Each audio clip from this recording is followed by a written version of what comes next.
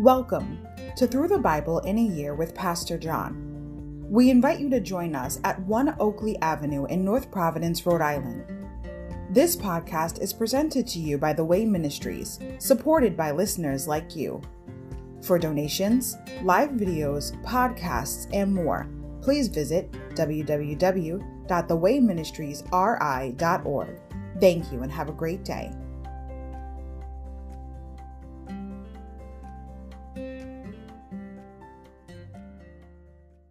Hi, everybody. Welcome to Through the Bible in a Year with Pastor John. So glad you could join me today to get a portion of God's Word. Today we're going to begin with day 304, October 30th, John chapters 13 to 17. Ministry to the disciples by God's Son. Overview.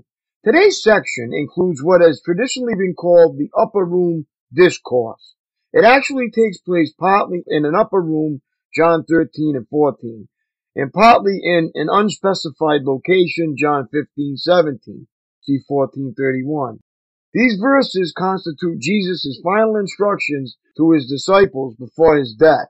In them, you will read of the importance of a servant's heart, the necessity of Jesus' return to the Father, and the provision of the Holy Spirit in his absence. There are many spiritual insights yet to be grasped by the disciples a realization that drives Jesus to his knees as he prays for his followers, both present and future. Chapter 13 Instructions to the disciples regarding foot washing. Chapter 14 and 15 Instructions to the disciples regarding fruit bearing. Chapter 16 Instructions to the disciples regarding future events. Talking to the disciples. Chapter 17. Intercession for the disciples. Talking to God. Insight. Go and do likewise. John 13, 12 to 17. There are times in our Christian walk when we wonder what God wants us to do to serve Him. While God might call us to specific tasks at specific times, there is one way to serve Him that is always applicable. Serving others. Jesus gave us a powerful example when he washed his disciples' dusty feet, 13, 12 to 17. How are you serving others these days? Insight. Mission accomplished. Cross yet to come. John 17, 4. In his prayer to God the Father, Jesus reported, I brought glory to you here on earth by completing the work you gave me to do. 17:4. Though Jesus' death was still a day away, Victory was certain as the Savior studied each step to the cross with prayer. You can face today with confidence too as you stay in touch with the Father. John chapter 13. Jesus washes his disciples' feet. Before the Passover celebration, Jesus knew that his hour had come to leave this world and return to his Father. He had loved his disciples during his ministry on earth and now he loved them to the very end. It was time for supper, and the devil had already prompted Judas, son of Simon Iscariot, to betray Jesus. Jesus knew that the Father had given him authority over everything, and that he had come from God and would return to God. So he got up from the table, took off his robe, wrapped a towel around his waist, and poured water into a basin. Then he began to wash the disciples' feet, drying them with the towel he had around him. When Jesus came to Simon Peter, Peter said to him, Lord, are you going to wash my feet? Jesus replied, You don't understand now what I am doing, but someday you will. No, Peter protested, you will never ever wash my feet. Jesus replied, Unless I wash you, you won't belong to me. Simon Peter exclaimed, Then wash my hands and head as well, Lord, not just my feet. Jesus replied, A person who has bathed all over does not need to wash, except for the feet, to be entirely clean. And you disciples are clean, but not all of you, for Jesus knew who would betray him. That is what he meant when he said, Not all of you are clean. After washing their feet, he put on his robe again and sat down and asked, Do you understand what I was doing? You call me teacher and Lord, and you are right, because that's what I am. And since I, your Lord and teacher, have washed your feet, you ought to wash each other's feet. I have given you an example to follow. Do as I have done to you. I tell you the truth. Slaves are not greater than their master, nor is the messenger more important than the one who sends the message. Now that you know these things, God will bless you for doing them. Jesus predicts his betrayal. I am not saying these things to all of you. I know the ones I have chosen, but this fulfills the scripture that says, the one who eats my food has turned against me. I tell you this beforehand so that when it happens, you will believe that I am the Messiah. I tell you the truth. Anyone who welcomes my messenger is welcoming me, and anyone who welcomes me is welcoming the Father who sent me. Now Jesus was deeply troubled, and he exclaimed, I tell you the truth, one of you will betray me. The disciples looked at each other, wondering whom he could mean. The disciple Jesus loved was sitting next to Jesus at the table. Simon Peter motioned to him to ask, Who is he talking about? So that disciple leaned over to Jesus and asked, Lord, who is it? Jesus responded, It is the one to whom I give the bread I dip in the bowl. And when he had dipped it, he gave it to Judas, son of Simon Iscariot. When Judas had eaten the bread, Satan entered into him. Then Jesus told him, Hurry and do what you are going to do. None of the others at the table knew what Jesus meant, since Judas was their treasurer. Some thought Jesus was telling them to go and pay for the food or give some money to the poor. So Judas left at once, going out into the night. Jesus predicts Peter's denial. As soon as Judas left the room, Jesus said, The time has come for the Son of Man to enter into his glory, and God will be glorified because of him. And since God received glory because of the Son, he will give his own glory to the Son, and he will do so at once. Dear children, I will be with you only a little longer. As I told the Jewish leaders, you will search for me, but you can't come where I am going. So now I am giving you a new commandment. Love each other. Just as I have loved you, you should love each other. Your love for one another will prove to the world that you are my disciples. Simon Peter asked, Lord, where are you going? And Jesus replied, You can't go with me now, but you will follow me later. But why can't I come now, Lord? He asked. I'm ready to die for you. Jesus answered, Die for me? I tell you the truth, Peter. Before the rooster crows tomorrow morning, you will deny three times that you even know me. John chapter 14. Jesus, the way to the Father. Don't let your hearts be troubled. Trust in God and trust also in me. There is more than enough room in my Father's house. If this were not so, I have told you that I am going to prepare a place for you. When everything is ready, I will come and get you, so that you will always be with me where I am, and you know the way to where I am going. No, we don't know, Lord, Thomas said. We have no idea where you are going, so how can we know the way? Jesus told him, I am the way, the truth, and the life. No one can come to the Father except through me. If you had really known me, you would know who my Father is. From now on, you do know him and have seen him. Philip said, Lord, show us the Father and we will be satisfied. Jesus replied, Have I been with you all this time, Philip, and yet you still don't know who I am? Anyone who has seen me has seen the Father. So why are you asking me to show him to you? Don't you believe that I am in the Father, and the Father is in me? The words I speak are not my own, but my Father who lives in me does his work through me. Just believe that I am in the Father and the Father is in me, or at least believe because of the work you have seen me do. I tell you the truth. Anyone who believes in me will do the same works I have done and even greater works, because I am going to be with the Father. You can ask for anything in my name and I will do it, so that the Son can bring glory to the Father. Yes, ask me for anything in my name and I will do it. Jesus promises the Holy Spirit. If you love me, obey my commandments, and I will ask the Father, and he will give you another advocate who will never leave you. He is the Holy Spirit who leads into all truth. The world cannot receive him because it isn't looking for him and doesn't recognize him. But you know him because he lives with you now and later will be in you. No, I will not abandon you as orphans. I will come to you.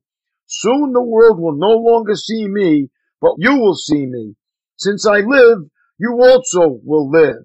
When I am raised to life again, you will know that I am in my Father, and you are in me, and I am in you. Those who accept my commandments and obey them are the ones who love me. And because they love me, my Father will love them.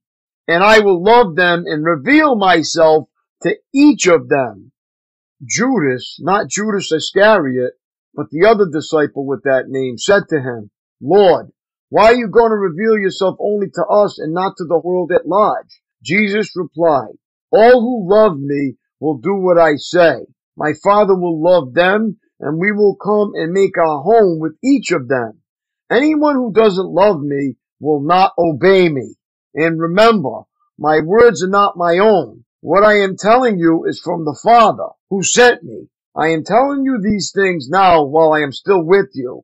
But when the Father sends the advocate as my representative, that is, the Holy Spirit, he will teach you everything and remind you of everything I have told you. I am leaving you with the gift, peace of mind and heart. And the peace I give is a gift the world cannot give. So don't be troubled or afraid. Remember what I told you. I am going away, but I will come back to you again. If you really love me, you would be happy that I am going to the Father who is greater than I am. I have told you these things before they happen so that when they do happen, you will believe. I don't have much more time to talk to you because the ruler of this world approaches. He has no power over me, but I will do what the Father requires of me so that the world will know that I love the Father. Come, let's be going. John chapter 15. Jesus, the true vine. I am the true grapevine, and my Father is the gardener. He cuts off every branch of mine that doesn't produce fruit, and he prunes the branches that do bear fruit, so they will produce even more. You have already been pruned and purified by the message I have given you. Remain in me, and I will remain in you. For a branch cannot produce fruit if it is severed from the vine and you cannot be fruitful unless you remain in me. Yes, I am the vine, you are the branches. Those who remain in me and I in them will produce much fruit. For apart from me, you can do nothing. Anyone who does not remain in me is thrown away like a useless branch and withers. Such branches are gathered into a pile to be burned. But if you remain in me and my words remain in you, you may ask for anything you want and it will be granted. When you produce much fruit, you are my true disciples. This brings great glory to my Father. I have loved you even as the Father has loved me. Remain in my love. When you obey my commandments, you remain in my love, just as I obey my Father's commandments and remain in his love. I have told you these things so that you will be filled with my joy. Yes, your joy will overflow. This is my commandment. Love each other in the same way I have loved you. There is no greater love than to lay down one's life for one's friends. You are my friends if you do what I command. I no longer call you slaves because a master doesn't confide in his slaves. Now you are my friends since I have told you everything the Father told me. You didn't choose me, I chose you. I appointed you to go and produce lasting fruit so that the Father will give you whatever you ask for using my name. This is my command. Love each other. The world's hatred. If the world hates you, remember that it hated me first. The world would love you as one of its own if you belong to it but you are no longer part of the world. I chose you to come out of the world, so it hates you. Do you remember what I told you? A slave is not greater than the master.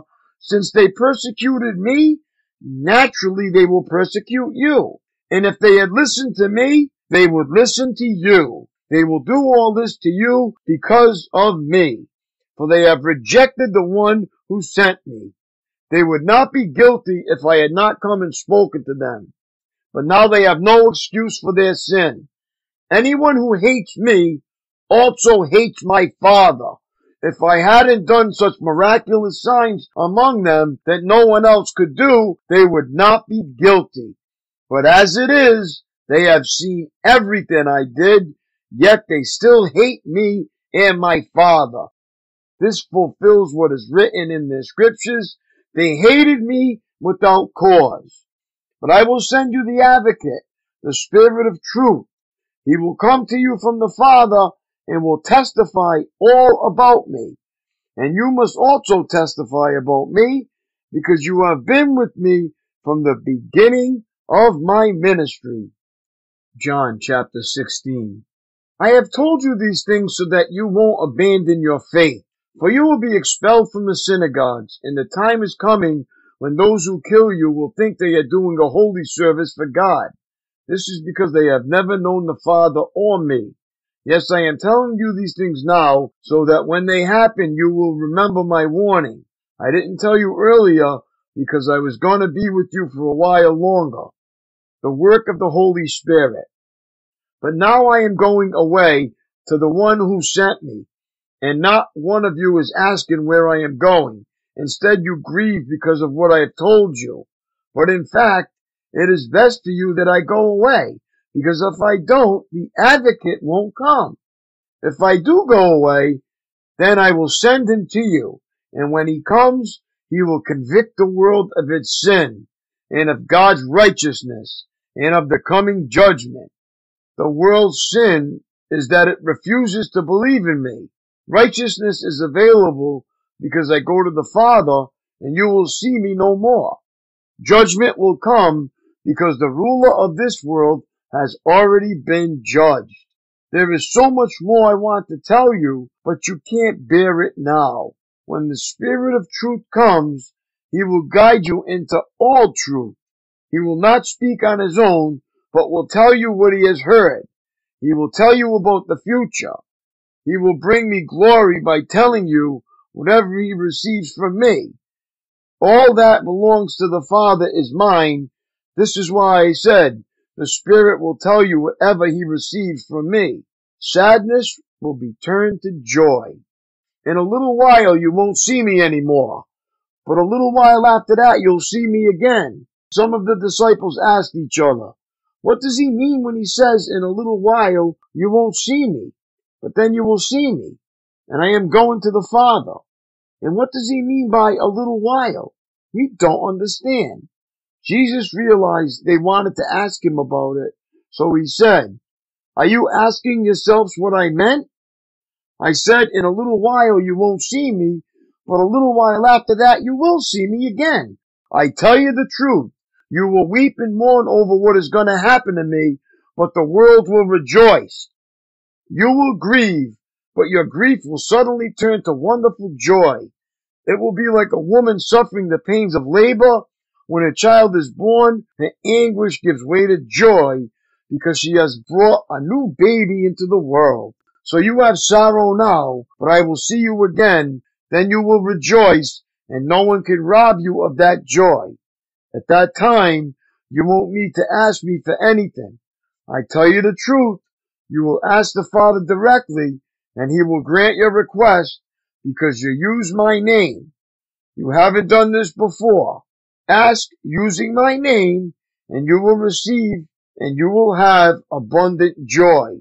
I have spoken of these matters in figures of speech, but soon I will stop speaking figuratively and will tell you plainly all about the Father. Then you will ask in my name. I'm not saying I will ask the Father on your behalf, for the Father himself loves you dearly because you love me and believe that I came from God. Yes, I came from the Father into the world, and now I will leave the world and return to the Father. Then his disciples said, At last you are speaking plain and not figuratively. Now we understand that you know everything and there's no need to question you. From this, we believe that you came from God. Jesus asked, Do you finally believe? But the time is coming indeed, it's here now, when you will be scattered, each one going his own way, leaving me alone. Yet I am not alone, because the Father is with me. I have told you all this so that you may have peace in me. Here on earth you will have many trials and sorrows, but take heart, because I have overcome the world. John chapter 17. The prayer of Jesus. After saying all these things, Jesus looked up to heaven and said, Father, the hour has come. Glorify your Son so we can give glory back to you. For you have given him authority over everyone. He gives eternal life to each one you have given him. And this is the way to have eternal life, to know you, the only true God, and Jesus Christ, the one you sent to earth. I brought glory to you here on earth by completing the work you gave me to do. Now, Father, bring me into the glory we shared before the world began. I have revealed you to the ones you gave me from this world. They were always yours. You gave them to me, and they have kept your word. Now they know that everything I have is a gift from you. For I have passed on to them the message you gave me. They accepted it and know that I came from you, and they believe you sent me. My prayer is not for the world, but for those you have given me, because they belong to you. All who are mine belong to you, and you have given them to me, so they bring me glory. Now I am departing from the world, and they are staying in this world. For I am coming to you. Holy Father, you have given me your name. Now protect them by the power of your name so that they will be united just as we are. During my time here, I protected them by the power of the name you gave me. I guarded them so that not one was lost except the one headed for destruction, as the scriptures foretold. Now I am coming to you. I told them many things while I was with them in this world so they would be filled with my joy. I have given them your word, and the world hates them because they do not belong to the world, just as I do not belong to the world. I am not asking you to take them out of the world, but to keep them safe from the evil one. They do not belong to this world any more than I do. Make them holy by your truth. Teach them your word, which is truth. Just as you sent me into the world, I am sending them into the world. And I give myself as a holy sacrifice for them so they can be made holy by your truth. I am praying not only for these disciples, but also for all who will ever believe in me through their message. I pray that they will all be one, just as you and I are one. As you are in me, Father, and I am in you and may they be in us, so that the world will believe you sent me.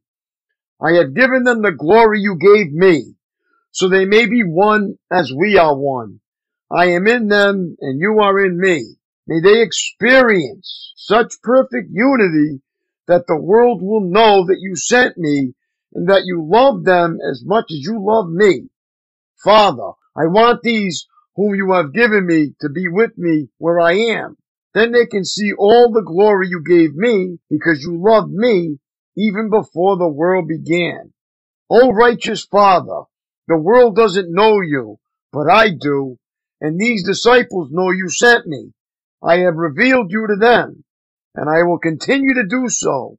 Then your love for me will be in them, and I will be in them. My daily walk. Reflect upon this thought-provoking statement by Robert Murray McKine. If I could hear Christ praying for me in the next room, I would not fear a million enemies. Yet distance makes no difference. He is praying for me. In John 17, Jesus Christ prayed fervently and specifically for his disciples, those he would leave behind to continue the work in his absence. And that means he was praying for you. Read the chapter that way, inserting your name in the appropriate places, beginning in verse 6. I have revealed you to blank. Blank was always yours. You gave blank to me. My prayer is not for the world, but for blank, whom you have given me. Now I am departing from the world. Blank is staying in this world. I am not asking you to take blank out of the world, but to keep blank safe from the evil one. Jesus himself prayed for us and God listened. What encouragement. That is so true and so awesome. Jesus is always praying for us. That's all for today, my friends. It was great reading along with you. Fill in the blank for your name, knowing that Jesus is always revealing himself to you. And have a great day and God bless. And I will see you tomorrow. Lord willing, peace.